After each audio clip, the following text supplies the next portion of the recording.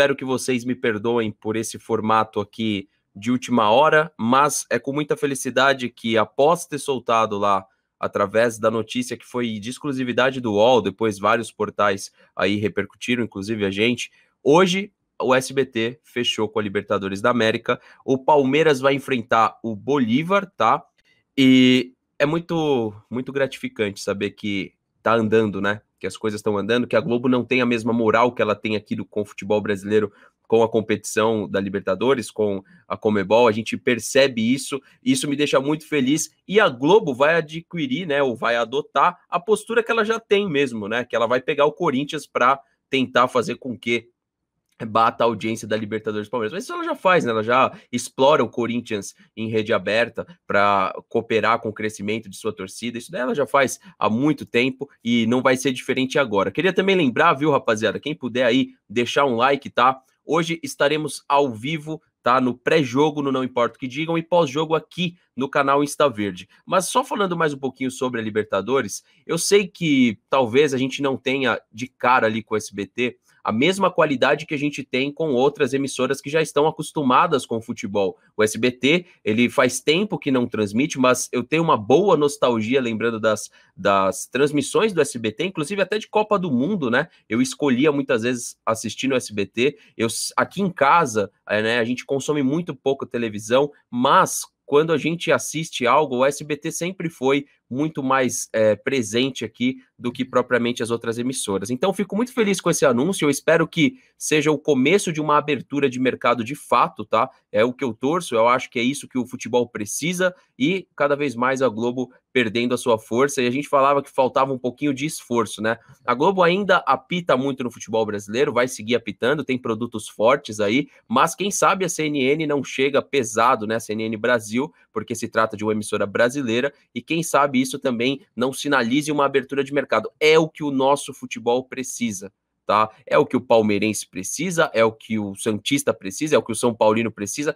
Quem gosta, né, desse apoio da Globo é uma torcida, é unilateral. Era uma, uma no Rio de Janeiro, uma em São Paulo, do Rio de Janeiro rompeu, e agora só fica com essa aqui de São Paulo, né? Então, eu espero e eu desejo que, que tenhamos aí, que, que realmente exista essa abertura de mercado, tá? Eu queria saber também a opinião de vocês, o que, que vocês pensam a respeito. Palmeiras e Bolívar já vai ter transmissão da emissora paulista SBT, beleza? Fico feliz de verdade, tá? Esperava muito por isso. Quem tá aqui desde o comecinho do canal lembra das lives que eu ficava aí, né, me matando, falando que seria interessante ter uma abertura de mercado. Eu lembro que muita gente falava que seria impossível, e ainda que devagarinho as coisas estão acontecendo. Eu acho que ninguém esperava por isso, né? Se a gente falasse isso em 2015, que o SBT ia comprar o direito da Libertadores de 2020, iam falar que a gente estava ficando louco, e aconteceu. Pois bem, estou muito feliz, queria saber de verdade a opinião de vocês, tá? Agora, referente ao clássico Palmeiras e Corinthians, a gente vai ter o Corinthians e Palmeiras, a gente vai ter o nosso pré-jogo, que a gente espera, né, ali muito próximo da partida, para já ter certeza da escalação, para poder comentar tática e para ficar mais claro o entendimento da partida. Para mim, que trabalha com futebol diariamente. Inclusive, daqui a pouco começa uma partida que eu vou acompanhar da Universidade Católica. É, Universidade de Chile, né? A Católica jogou ontem. Inclusive, tinha bons jogadores lá na Universidade Católica. Hoje é Universidade de Chile. Vou também observar e estou observando muitas ligas a gente faz análise de desempenho, análise dos confrontos. Se a gente for levar em consideração a confronto, o jogo de hoje tem tudo para ser um jogo ruim né? O Palmeiras e Corinthians não entram para dentro de campo para jogar bola, eles entram para fazer alguma outra coisa que a gente tenta entender que aquilo é futebol. Mas a gente não vê um grande jogo já faz tempo. Porém, o entendimento que eu trago para cá é o seguinte: o Palmeiras ele vai para esse jogo muito mais tranquilo do que foi para o jogo de, de Campeonato Paulista, por tudo que envolvia Campeonato Paulista, que inclusive o Corinthians tentou lançar uma espécie de uma provocação, mas eu acho que pegou mal, né? Porque o último campeão paulista é o Palmeiras, 8 de 8 de 2020, eterno, né? E aí eu acho que pegou mal, porque hoje eu só sei de uma coisa: joga o campeão paulista contra o vice, né? Bom, é isso.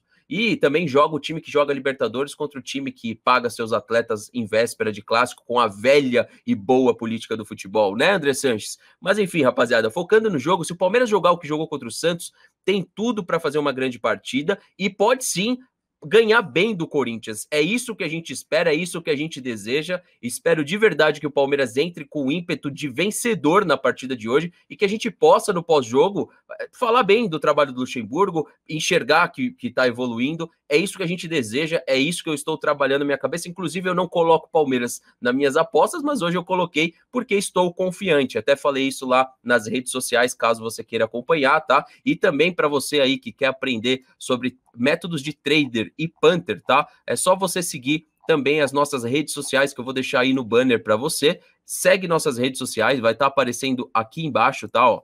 Só seguir e ir para o nosso grupo exclusivo, tá? Te aguardo lá, mas queria saber a opinião de vocês pro clássico. Se o Palmeiras jogar o que jogou contra o Santos é suficiente para ganhar bem do Corinthians? Comenta aqui embaixo para eu saber. Aguardo vocês no nosso pré-jogo hoje, tá? Pré-jogo hoje 50 minutinhos antes da partida, a gente já vai estar ao vivo e pós-jogo aqui no Insta Verde. Então, se você ainda não é inscrito, inscreva-se lá no canal Não Importa o que Digam e nosso pós-jogo tradicional aqui no Insta Verde logo após a partida. Eu espero de fato vir aqui com uma vitória, porque isso vai somar para o Palmeiras. É um mês de setembro muito difícil e que uma derrota no clássico contra o Corinthians, ou até mesmo jogar mal um empate, pode aí ter um setembro um pouco mais difícil que o normal, porque a gente tem Flamengo pela frente, uma equipe que está crescendo, que a gente sabe que vai brigar pelo título de Campeonato Brasileiro e que pode brigar por, pelo título também de Libertadores. E eu espero que o Palmeiras olhe suas deficiências aí em outubro, fortaleça essa equipe minimamente falando, para centroavante, meio campo, né?